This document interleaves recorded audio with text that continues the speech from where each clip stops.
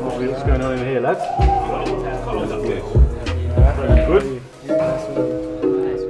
Good? Mate, my mom see me shine. I repay her for all those times. All those times I made her cry. I'm trying to give my family a lavish life. Throughout my teens, um, it's been very impactful because now I work here. I've come all the way through as a smaller team now to a bigger team.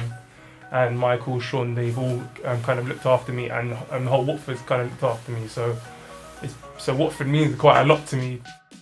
I know a few people used to come here, but as soon as the it kind of died down here, they got themselves into trouble. They started doing bad stuff.